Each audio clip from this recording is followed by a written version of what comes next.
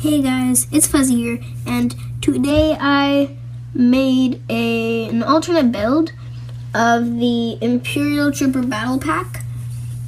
And first it was like a mini AT, AT, ATST or whatever they're called, or and then and I've been wanting to make a ski speeder for a while. And so I made an the alternate build for the set. I made a, a little ski speeder.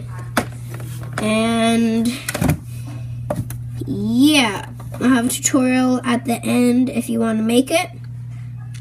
So let's look at it. So here it is. Um, I am quite happy with it since I've been trying to make one for quite some time since the movie came out. Um, I based it off the the the the kind of I think it's the Hasbro toy. I based it off of that. So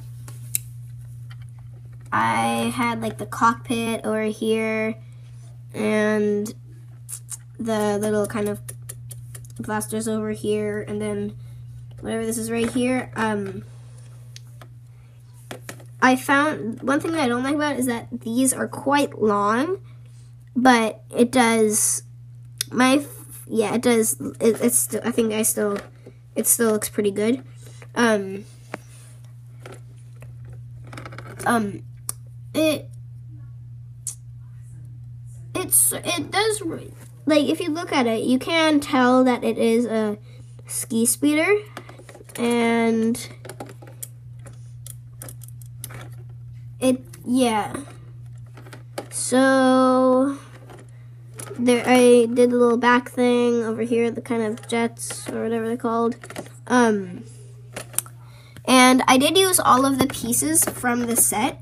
So I don't you might have a couple extra pieces. I think yeah you have like just like a couple extra pieces.